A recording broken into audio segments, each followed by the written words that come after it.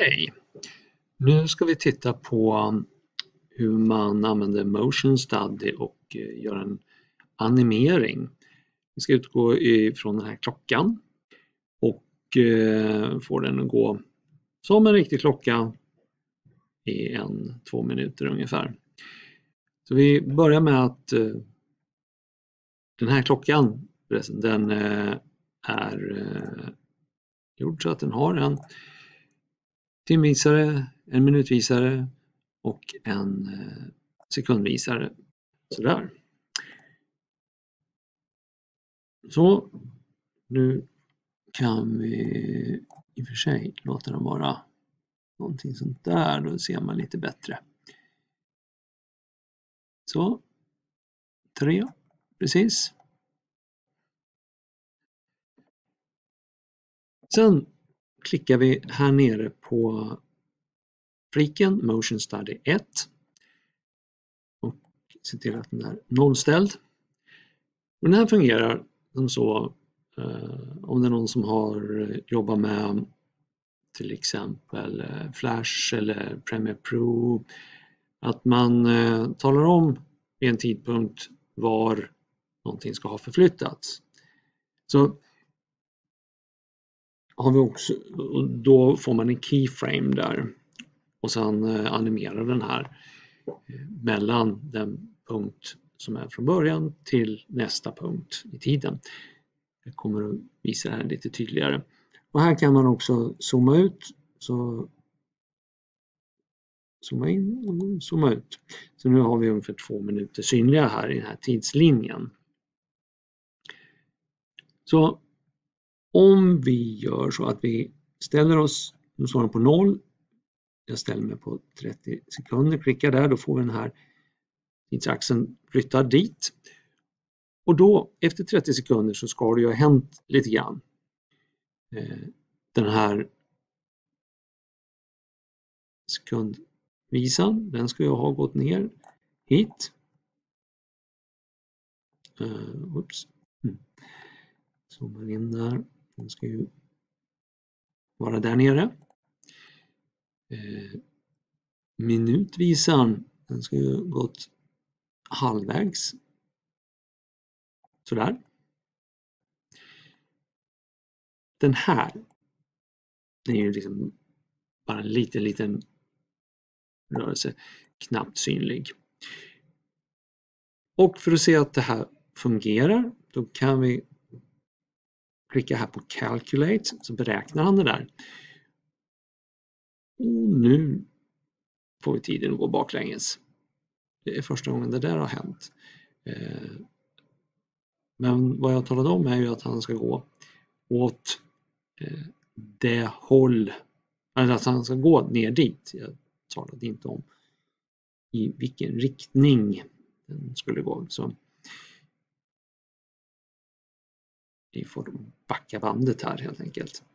Så, och sen fortsätter han spela upp det där så vi trycker på stopp. Jag tar och markerar det här och trycker delete och drar tillbaka den. Eh, en sån här grej händer. Då är det på noll. Då drar vi den här till eh, säg 20 istället. Eller 25 för att vara nästan där nere. Total i visaren som sådär.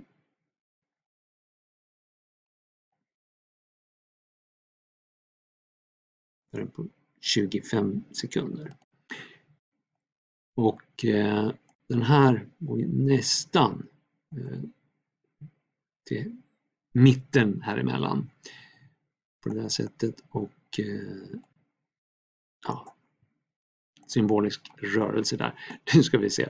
Eh, vi trycker på Calculate igen och nu får vi den ju gå åt eh, rätt håll så att säga, som vi ser. Och det här måste ske i realtid, att han kalkylerar den här. Så. Vi ser att även minutvisaren rör sig lite grann. Det syns inte lika tydligt som sekundvisaren. Precis som en riktig klocka. Ja, och så börjar den om från början här då, för vi har ju sagt att den ska göra det. Den ska gå i loop. Så vi tar stänger. För att få nästa rörelse så kan vi gå till eh, 55. Eller, jo, vi, vi testar, vi ser. 55. Eh, tar tag, den. den, 55. Den här ska gå nästan till nästa en minut där. Så och sen kalkylerar vi och då, ja, mitt fel. Stopp. Han gick tillbaka för det, var ju, det är lika långt åt båda hållen. Och varför den bråkar sådär nu, det vet jag inte. Jag backar bandet. Eh, Ctrl Z. Vi sätter igen på eh, 50 då. Och drar den där till 50. Och den där så. Den Calculate, då ser vi nu går den åt rätt håll i alla fall. Så det blir lite knepigt i och med att klockan i det här fallet då, då kan man ju välja, men lika långt åt båda hållen. Då har vi lagen om alltings jämlikhet så då går det ju åt det hållet som jag inte vill. När det ändå bara finns två håll. Sådär. Och sen fortsätter han som sagt var. Eh, här har vi också möjlighet att eh, köra en, eh, istället för en loop, så kör man fram och tillbaka. Eh, sådär. Men vi tar stopp här och eh, tar nästa steg. Vi är på 50. Sådär. Dra fram klockan till 1.15. Så. Så här. Den här får röra sig lite grann där också. Eh, sådär. Och så får man kalkylera. Vi se. Nu börjar den redan därifrån.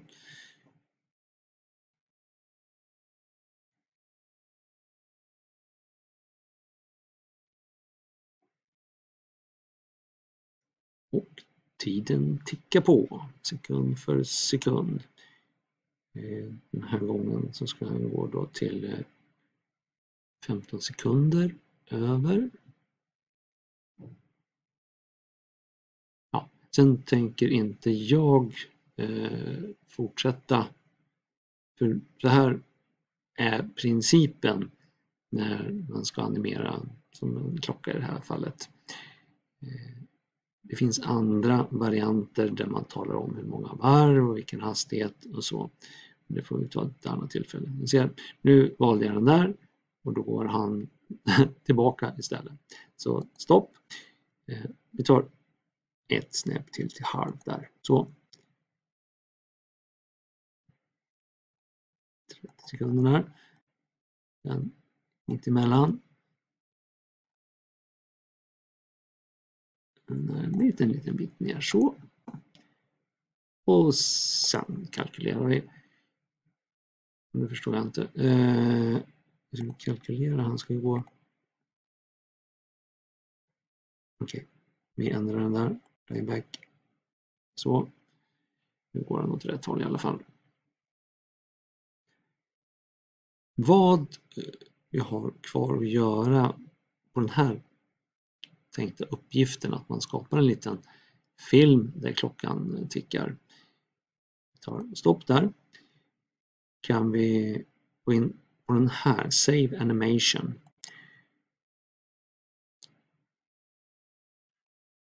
Man döper den här filmen ur, eh, ur eller väggur eller vad som helst.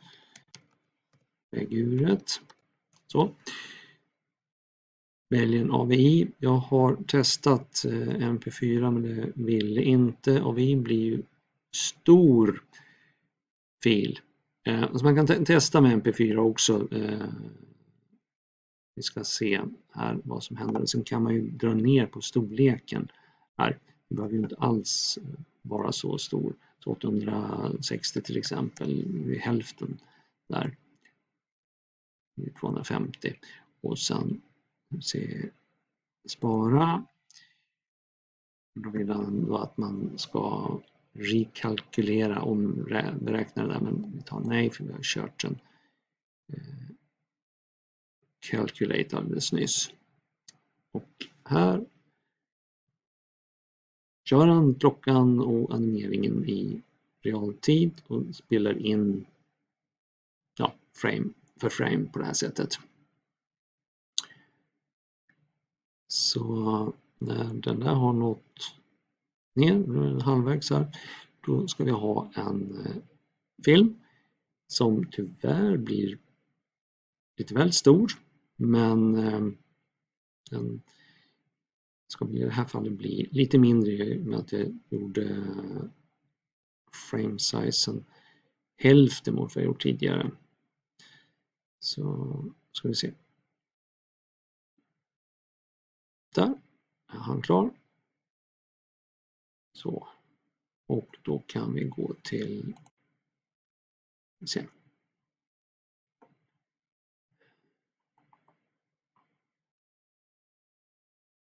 Mm. Var la jag den? Jo, jag la den på